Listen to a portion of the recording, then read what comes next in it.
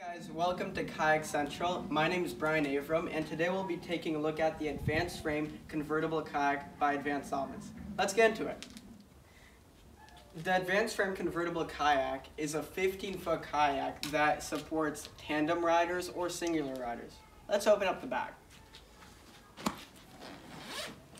Off the bat, we'll see the kayak itself. Now this kayak comes in two colors. We have the orange, as we see here, but it also comes another green one. I'll pop an image right here. All right, let's take this out of the back.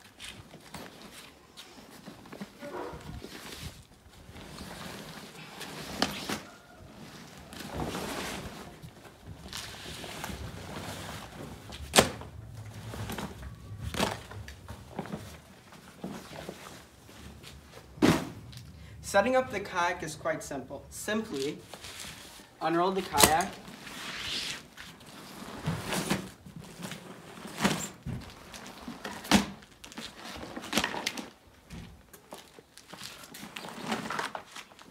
Unfold it.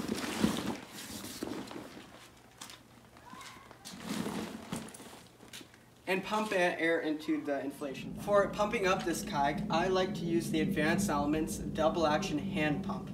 This comes with a PSI gauge and all the proper fittings to fit to your inflation valves. First thing that we want to pump up is the main chamber. Pump this up halfway. We're to be using this screw-on valve right here. I'll put a picture on the screen. Simply attach it to your pump, open the valve,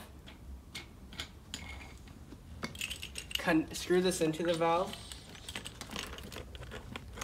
and pump until it appears half full.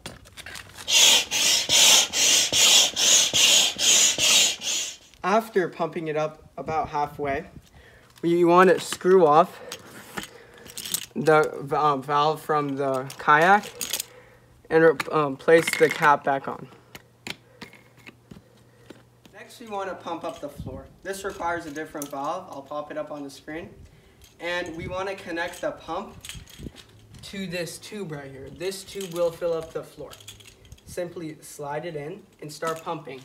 Pump only to 1 psi. Do not go over the limit.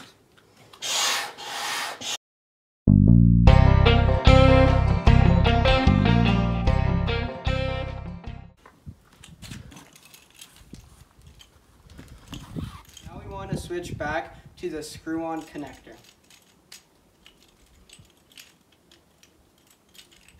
Connect the screw-on connector back to your main chamber.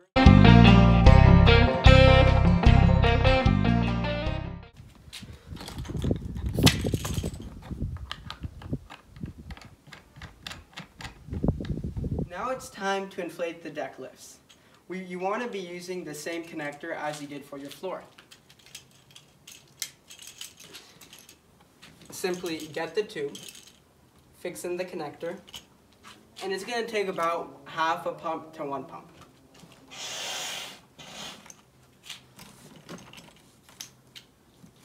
Repeat this step for the second one as well.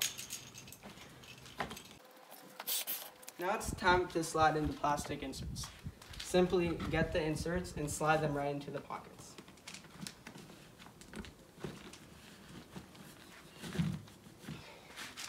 Do the same on the other side.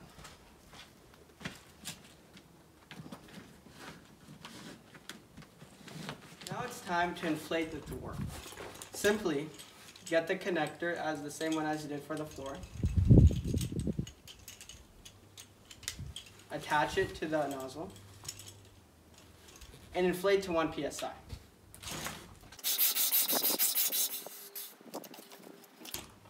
Then, using the Velcro, align it with the Velcro inside the kayak. First, we'll set up as a tandem. The kayak comes with two seats that goes in the back and the front.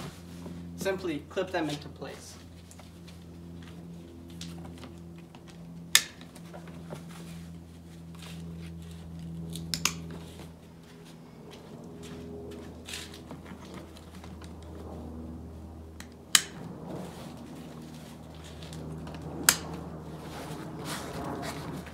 Configure it for one person paddling.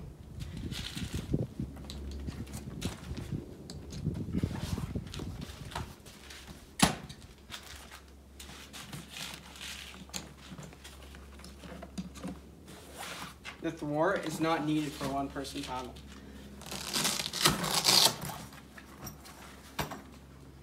Simply put the seat in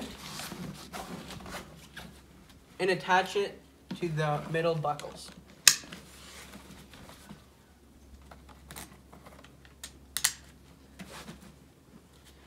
You are now ready to paddle in single. The kayak itself is very durable. No bending in the middle. And on the underside, it features a skeg and landing plates. The kayak is made up of three layers of puncture-resistant material. The kayak itself is wide, making it hard to tip. And being this long, it is very stable and tracks very well. I paddled this kayak on oceans, lakes, and even some shallow rivers. It, it handled it remarkably. This kayak features D-rings for optional bungee deck lacings, paddle holders, front bungee deck lacings with clips,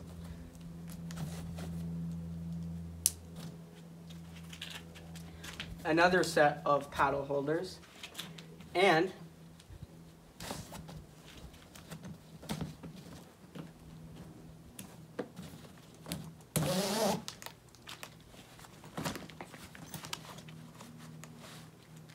a unzippable canvas cover. With gear and the people, it could hold up to 550 pounds. Also, this kayak features a repair kit. I have not yet had to use this and I put my kayak through some serious rocky conditions. This goes right back in the back of the seat. The kayak also features a pressure relief valve found in the back of the floor. This is if the pressure exceeds 1 psi, it'll leak out a little bit of air. I'll be making a video of a deck cover that is optional for this kayak. That's it for today on Kayak Central. My name's Brian Avram. Hit that subscribe button, that like button, and turn post notifications on. I'll see you next time.